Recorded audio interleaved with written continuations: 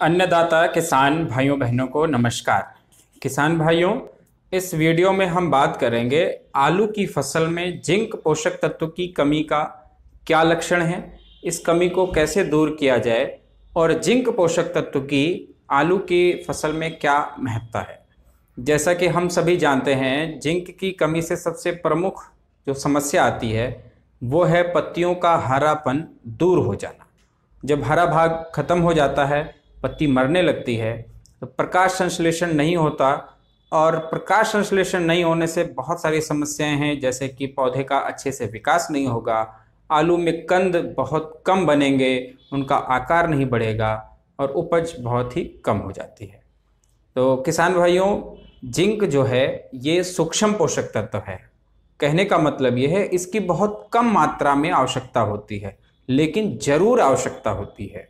जैसे किसी भी प्रकार की सब्ज़ी आप बनाइए तो उसमें नमक बहुत कम चाहिए, लेकिन ज़रूर चाहिए। नमक नहीं डाला तो उस सब्ज़ी का स्वाद आपको नहीं मिलता है।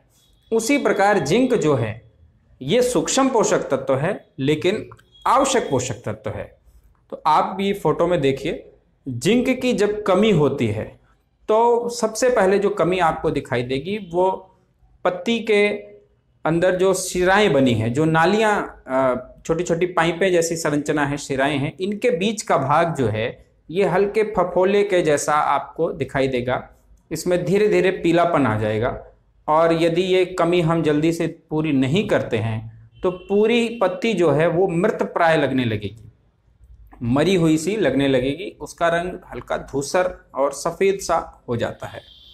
हरिमाहीनता इसे कहते हैं, अर्थात हरा भाग नहीं रहता है। बहुत ज़्यादा कमी होने पर केवल जो बीच की मुख्य शिरा है, वो हरी रहती है। बाकी पूरी पत्ती आपकी जो है, ये हरिमाहीनता दिखाती है। पूरी पत्ती, ये जैसा आप चित्र देख रहे हैं, ऐसा दिखने लगता है। इसका परिणाम क्या होता है? पौधे का विकास अच्छे से नहीं होगा। खेत आपको देखने में बहुत ही बदस्वरूप सा लगेगा अच्छा नहीं लगेगा, और नीचे कंद भी उसमें नहीं बनेंगे। ये इसकी पहचान का लक्षण है। यदि विगत वर्षों में, पिछले साल हमको ये लक्षण दिखाई दिए हैं तो इस बार हमको ये लक्षण आने से पहले ही उपाय करना है। धान के, यदि हमने खेत में बुआई की थी और धान में हमारे खैरा रोग लगा था जिंक की कमी का तो भी इसका मतलब है कि जिंक की कमी है। तो सबसे अच्छा उपाय है कि 25 किलो जिंक सल्फेट जो है, इसे जुताई के समय, खेत की तैयारी के समय प्रयोग कर लिया जाए।